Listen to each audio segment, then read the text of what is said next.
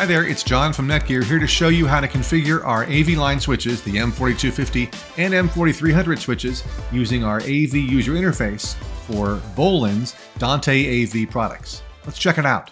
First of all, you need to type in the IP address of the switch. In this case, I'm using the out-of-band port, so that IP address is 192.168.0.239, and then log into the AV user interface using the left side of the screen I've saved the admin password and login.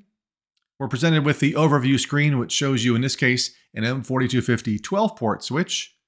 To configure it, we go down to Network Profiles and scroll down the list of these certified profiles. You'll see many options here. In this case, we're going to go down to Video with Dante Audio. That's our Dante AV profile. And you're going to click on the gear icon and then select the ports you're going to use with these Bolin products, the cameras or the encoder decoders.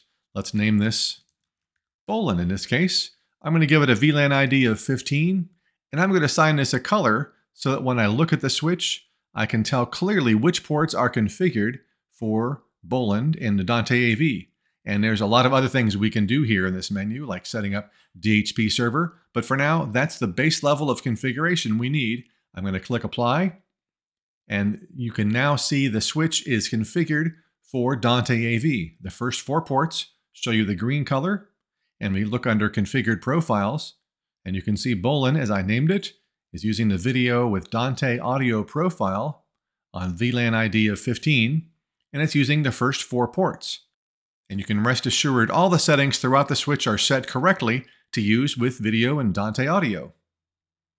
That's it. That's all you have to do to set up the Netgear M4250 or M4300 switches to use with Bolin's Dante AV range of products. Thanks for watching.